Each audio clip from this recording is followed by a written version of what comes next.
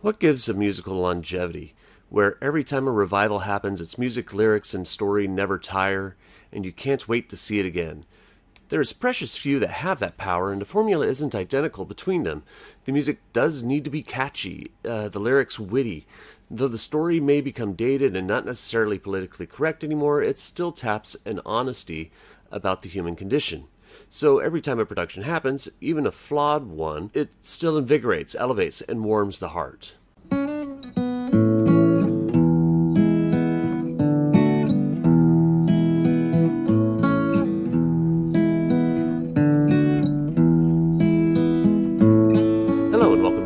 Episode 48 of One Man's Opinion, where I review professional theater across Connecticut and New York. Today I am reviewing the Broadway revival of the classic Meredith Willson musical The Music Man at the Winter Garden Theater at 1634 Broadway in New York City. It is directed by Jerry Zaks and stars Hugh Jackman as the devious but lovable traveling salesman Harold Hill and Sutton Foster as the intuitive and impeccable librarian Marian Paroo.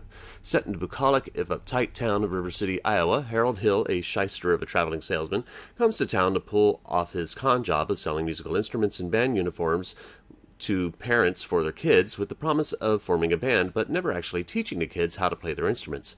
Marian, the librarian, who is also a piano teacher, is immediately suspicious of the wily salesman and begins investigating him while he manipulates the rest of the townspeople. As what all romantic comedies of this nature do, Hill and Marian, against both their better judgments, form a bond with each other and eventually fall in love. Yes, the story is cliched at this point, but the music is so classically infectious with such famous numbers as 76 Trombones, You Got Trouble, Marian the Librarian, Shipoopi, Gary Indiana, Until There Was You. There is nary a bad song to be found in this score that, when done right, makes the story still feel alive and delightful. But as I said, it has to be done right. So let's start off with the production's flaws. Most obvious and immediate is the age issue, and this continues to be an incessant problem with Broadway in casting actors that are inherently too old for the characters. Marian and Harold should look like they're in their late 20s to early 30s, with Marian's mother, Mrs. Paroo, here played by Marie Mullen, looking like she should be in her late 40s to early 50s. This wouldn't be too much of an issue except for the role of Winthrop Paroo, Marian's younger lisping brother, played by Benjamin Pajak, who is about 10, if not younger. When you look at the actors' real ages and how their respective ages still translate on stage, it doesn't work. Mullen is 69 in real life and looks about that. There's no way Mrs. Paroo is popping out a baby in her late 50s. Foster is 46 and Jackman is 53, making them old enough to be Winthrop's grandparents, let alone parents or older siblings. Considering that Winthrop is the linchpin to Harold and Marian's romance, the relationships across those characters have to be believable. There are also some directing choices on Zaks's part that I'm a little befuddled by. One is the number of the sadder but wiser girl that somehow turns into a vaudeville number instead of letting Harold and Marcellus Washburn, played by Shuler Hensley, act the song out instead of turning it into something that stops the narrative. Another is the direction of Jackman, whom I was hoping would give an award winning performance, but I don't think it'll be the case here. He's just not slimy enough. He's too affable. Not that a con, not that a con man shouldn't be affable. Of course he does if he wants to pull his jobs off. But there should be an underlying of putting himself first with no regard for who he's hurting along the way. I don't get that from him. Instead, we get a more cocksureness from the get go with more tongue in cheek delivery, saying, I can't believe that worked on those idiots kind of attitude. It creates less of a journey for Harold and makes him more likable from the start. All that being said, I still really enjoyed this show.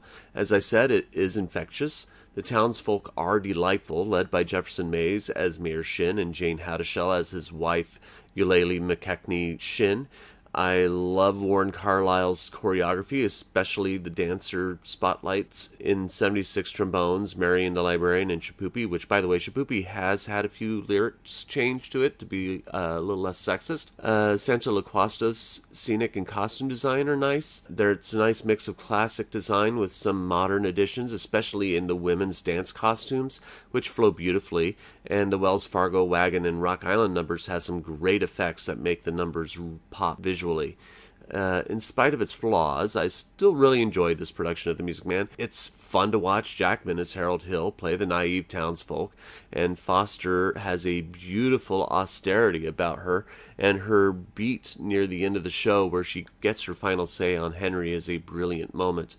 Willson's score is still one of the best ever written, and as the audience showed the night of the performance that I was attending, uh, was willing to go for the ride from the downbeat to the overture as they clapped along and cheered with rapturous fervor. This isn't the best Music Man I've ever seen, but it's still a delight and should be an enjoyable show for the average theater goer.